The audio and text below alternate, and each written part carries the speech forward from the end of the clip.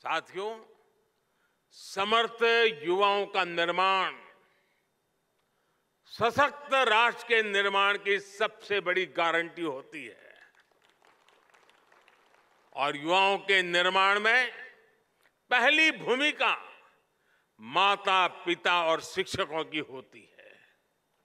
इसलिए मैं शिक्षकों और अभिभावकों सभी से कहना चाहूँगा कि बच्चों को हमें खुली उड़ान देने का मौका देना ही होगा। हमें उनके भीतर आत्मविश्वास भरना है ताकि वो हमेशा कुछ नया सीखने और करने का साहस कर सके। हमें भविष्य पर नज़र रखनी होगी।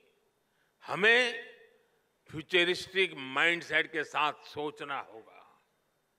हमें बच्चों को किताबों के दबाव से मुक्त करना होगा।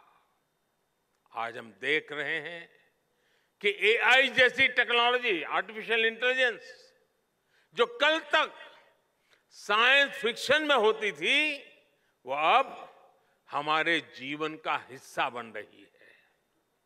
रोबोटिक्स और ड्रोन टेक्नोलॉजी हमारे दरवाजे पर दस्तक दे चुकी है। इसलिए हमें पुरानी सोच से निकलकर नए दायरों में सोचना होगा। हमें अपने बच्चों को उसके लिए तैयार करना होगा। मैं चाहूँगा कि हमारे स्कूलों में फ्यूचर टेक से जुड़े इंटरेक्टिव सेशन आयोजित हो।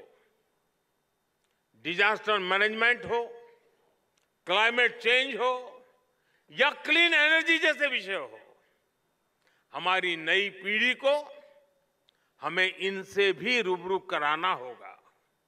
इसलिए हमें हमारी शिक्षा व्यवस्था को इस तरह से तैयार करना होगा ताकि युवा इस दिशा में जागरूक भी हो उनकी जिज्ञासा भी बढ़े।